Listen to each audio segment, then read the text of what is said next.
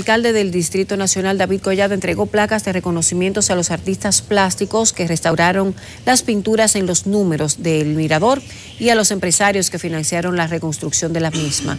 En la actividad también varias empresas fueron reconocidas. También Collado entregó un reconocimiento póstumo al destacado humorista y productor de televisión Freddy Veras Goico por su labor altruista y en la televisión local.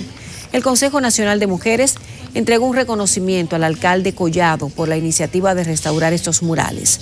El edil ponderó la seguridad en esa zona. Muchísimas gracias al sector empresarial. Gracias por su aporte, por su sensibilidad. United Capital, que fue el patrocinador oficial Mejía Alcalá, que siempre está presente con nosotros, Doña Pirigua, que desde el día cero dijo que sí al aporte de las iluminaciones de las luces. Y debo destacar que las luces la contrataron y la colocó el sector privado. Bajo ninguna circunstancia nuestra administración requiere y solicita fondos para administrarlo del sector privado. Agradecer al alcalde David Collado, gracias por esta iniciativa, gracias a quienes tomaron la iniciativa de nombrar esta avenida Freddy Brasgoy, porque la verdad es un gran honor y una gran responsabilidad.